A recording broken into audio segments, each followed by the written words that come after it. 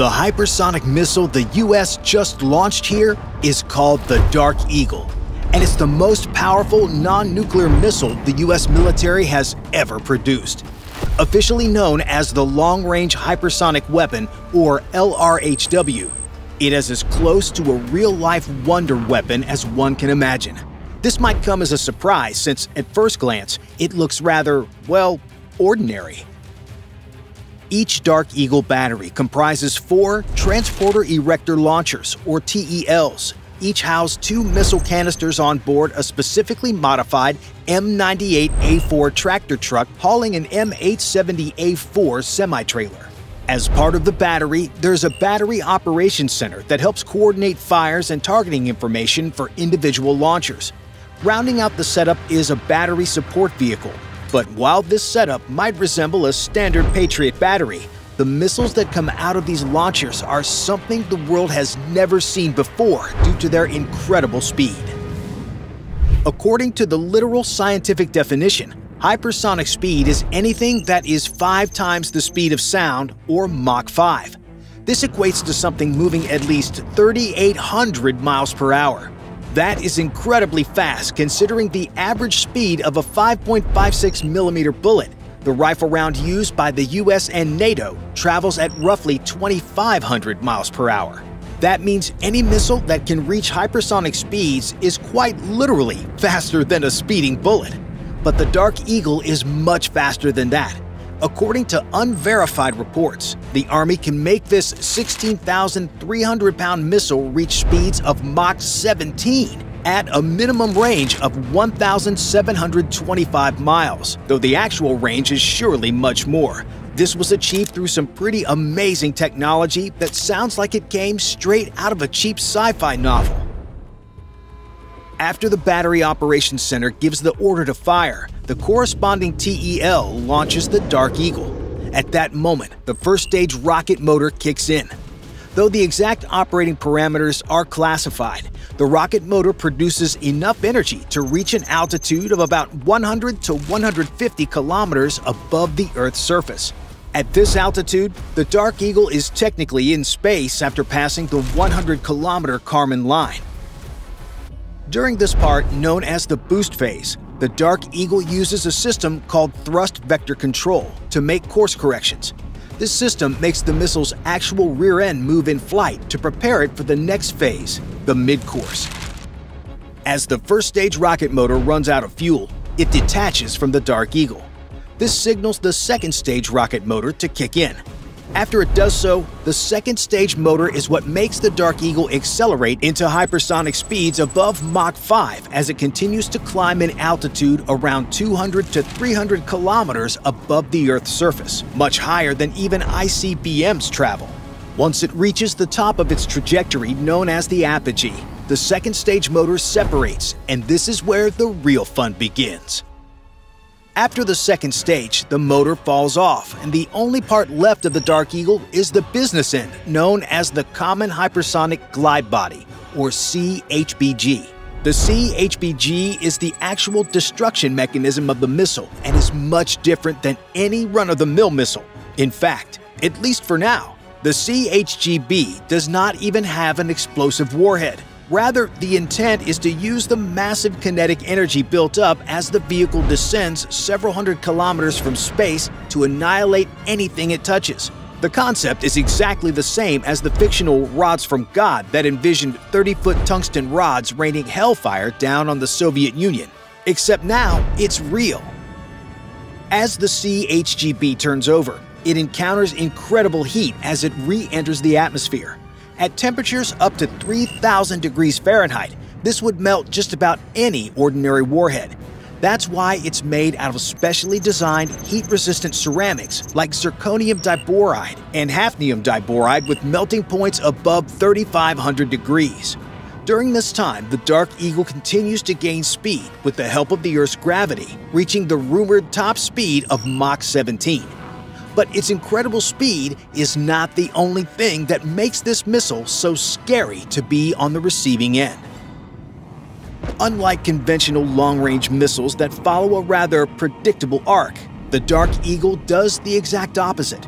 As it plummets toward the ground, it will change its position, making it hard to shoot down. It can change its altitude, move side to side, and even zigzag thanks to the small fins on the glide vehicle.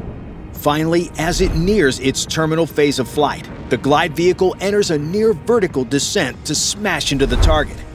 For these reasons, the Dark Eagle is virtually impossible to shoot down, even if air defense radars could even track it.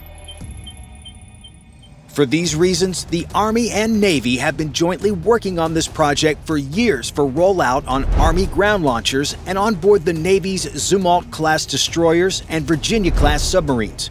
The reason for this cooperation is because Chinese defenses in the Pacific grow stronger each day, and both services need to clear the huge hurdle to defeat China in a stand up fight. Since early 2013, China has been actively building up its presence in the South China Sea and along its eastern borders to create a literal missile wall to keep the U.S. Navy at arm's length. How they have done this is through the most aggressive missile development program in the world. The Chinese People's Liberation Army currently possesses the world's largest inventory of ballistic and cruise missiles. Among these thousands of missiles are a few types that stick out. These include roughly 170 intercontinental ballistic missiles with ranges up to 15,000 kilometers at bases in Gansu, Xinjiang, Hunan, Yunnan, and Shanxi provinces. In addition to these, the Chinese military has roughly 250 hypersonic DF 26 missiles with a 4,000 kilometer range at sites in Guangdong, Yunnan, and Xinjiang provinces. For threats closer to China, the PLA has roughly 148 medium range ballistic missiles, including the vaunted DF 17 in places like Henan, Jiangxi, and Zhejiang provinces. And this figure does not include just over 1,000 short range ballistic and cruise missiles stationed throughout the country but concentrated along the coast. With this massive arsenal of missiles, in the event of war, the Chinese military hopes to push the U.S. Navy out of the first island chain that encompasses the various island chains in the South China Sea and even past the second island chain, which includes countries like Japan and the Philippines. Though the U.S. and its allies have at least several hundred interceptors among its ground and naval units in the region at any given time, two of these Chinese missiles give the U.S. Navy a reason to be concerned. The first of these is the DF 26. The DF 26, known as the Guam Killer or Carrier Killer, is China's go to choice for preemptive strikes. With the ability to have another 5 to 10 kiloton tactical nuclear warhead or an 1800 kilogram conventional payload, the DF 26 can travel at speeds between Mach 10 to Mach 12. Though the DF 26 follows a rather predictable arc, its hypersonic speed makes it very hard to track, much less shoot down. And despite the ominous name, another missile is much scarier than this. The DF 17 is China's most advanced non nuclear weapon. Effectively, the Chinese equivalent to the Dark Eagle, the DF 17 has been in service since around 2019 and has an estimated speed of between Mach 5 and Mach 10. Just like the Dark Eagle, the DF 17 is a hypersonic glide vehicle propelled high into the atmosphere or low to the ground for conventional strikes on high value targets. With roughly 48 of these launchers along the Chinese coastline, this is the highest priority threat facing the U.S. Navy in a total war scenario. However, despite not having a fully operational hypersonic missile yet, the U.S. Navy is not taking lumps lying down from China thanks to its active defense of this threat. Because Aegis equipped ships have a limited range of around 200 nautical miles, they cannot organically see targets past that range.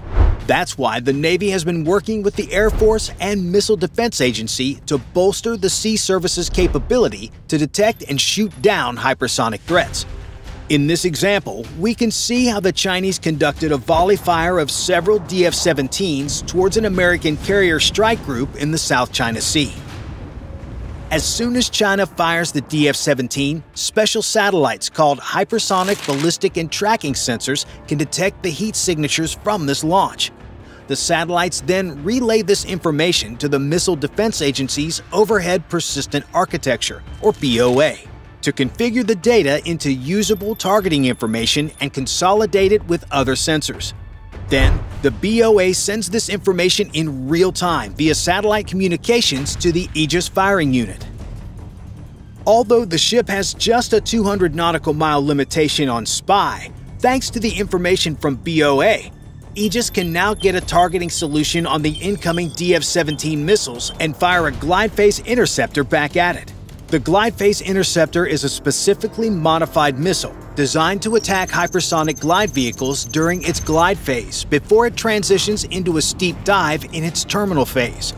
As the glide phase interceptor destroys the first DF 17, the second DF 17 comes into range of the ship's own sensors. Using internal targeting data, the ship can relay this to the second interceptor to destroy the next missile. Finally, the ship can now also receive targeting data from a friendly Aegis equipped ship to help fill in any blind spots to destroy the last DF 17 with an SM 6 in its terminal phase. Although this scenario is where the Navy would like to be in the future, the glide based interceptor is currently in development right now. Because of this, the Navy has been working with partner nations in Asia to build a counterstrike capability to destroy these missiles before they even take off. Publicly confirmed measures so far include stationing the first operational Dark Eagle battery in Guam and posting short-based SM-6 batteries in the Philippines to cover the South China Sea. Additionally, media reports have leaked that the U.S. is currently in secret talks with Japan to station Dark Eagle missiles at the Kadena Air Base in Okinawa. Despite this massive buildup, in 2023, President Xi Jinping told the world that his military would take back Taiwan by 2027. If he follows through on this promise, here's how the Dark Eagle would stop him in his tracks. If Xi's invasion of Taiwan really kicks off, US and Taiwanese forces in the region are in for a rude awakening. According to the most prominent theories, the Chinese intend to launch a massive missile barrage of almost every conventional weapon they have. The hope is this barrage will destroy the U.S. and Allied air bases, logistics bases, naval installations, and command and control centers. Chief among these threats will be the DF 17 and DF 26 missiles. As these missiles are raining down, the Chinese military will launch the largest amphibious invasion since World War II with the goal to land about 75,000 troops in the first day, with up to 400,000 more in the following week. To carry out this operation, the Chinese would need to neutralize the U.S. Navy so there would be no troop redeployments from places like South Korea, Okinawa, or mainland Japan to reinforce Taiwan. This is where the Dark Eagle steps in. According to publicly confirmed data, the Army intends to purchase 64 Dark Eagle missiles. This includes 18 test missiles and 48 operational ones spread across six batteries. The Navy intends to arm each Zumwalt-class destroyer with 12 conventional prompt strike missiles, as Dark Eagles are called in the Navy, and an undisclosed number of its Virginia-class submarines. However, if the US fired its entire confirmed arsenal of 84 Dark Eagles, this would cause devastating damage to the Chinese. When launching these missiles, the US could choose two types of fire volley fire or precision strike. The difference between the two is basically the amount of missiles fired for each target. For example, the US would surely use a volley strike against DF 17 and DF 26 bases in eastern China to destroy these weapons before the Chinese could fire them on US forces. As these strikes are going on, US forces will also be targeting CCP command and control centers in places like Beijing. This is where the Dark Eagles on Okinawa will work their magic. The Dark Eagle would take just 8 minutes to get from Kadena Air Base to Beijing, a distance of around 2,775 kilometers. If the Dark Eagle were able to successfully avoid interception, a strike like this would throw the inexperienced, centralized Chinese military into complete disarray, leaving them unclear of what to do next. After that, the massive numbers of Chinese troops and equipment would be little more than extra practice in the now target rich environment of the Taiwan Strait. Do you think China has anything that can actually counter the Dark Eagle? Bye for now.